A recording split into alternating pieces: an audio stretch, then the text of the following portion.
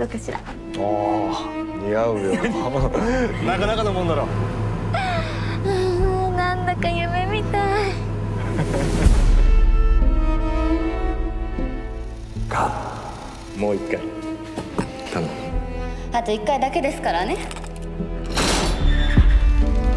この家の方々は皆様子をしていらっしゃる。ウイスキーも舶来品。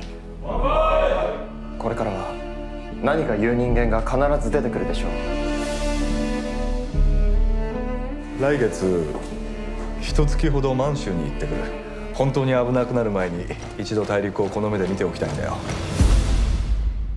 お呼びしたのはあらかじめ心構えをしていただきたかったからです。どんな心構え？あなたとあなたのご亭主がこれからどう振る舞われるか我々はそれを注視しています。やはり知らなければ何も信じることはできません。当然だ。君は何も見ていない。何も知らない。僕も君にそれを見せたくはない。だがそれは怒っている。あなたのせいで日本の同胞が何万人死ぬとしてもそれは正義ですか？今後は世間の見る目も変わってきます今まで通りの人付き合いではいけません。大きな望みを果たすなら身内も捨てずにどうします？